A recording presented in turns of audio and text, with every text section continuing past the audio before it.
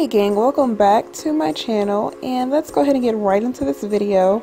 This is my hair dry, this is the shrinkage, it has not been stretched or manipulated at all.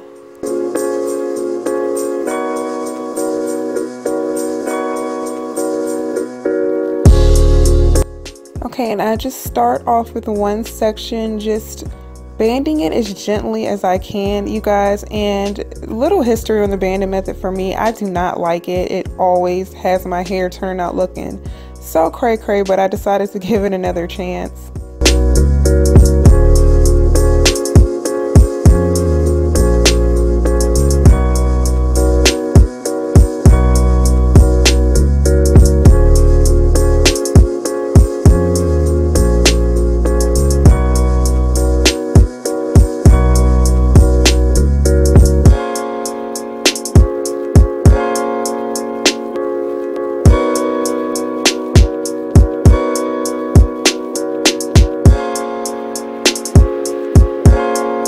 Here's my whole head bandage, you guys. I really don't like it. It, it just feels like it's not going to turn out right, but hey, I'm going to try it anyway. I'm going to go to sleep with this and see how it looks.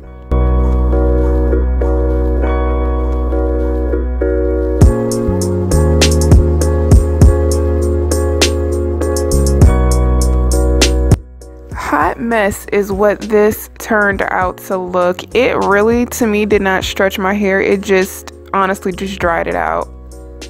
So the banding method is definitely not for me. So thank you guys so much for watching. Don't forget to like, share, and subscribe, and I will see you guys in my next video.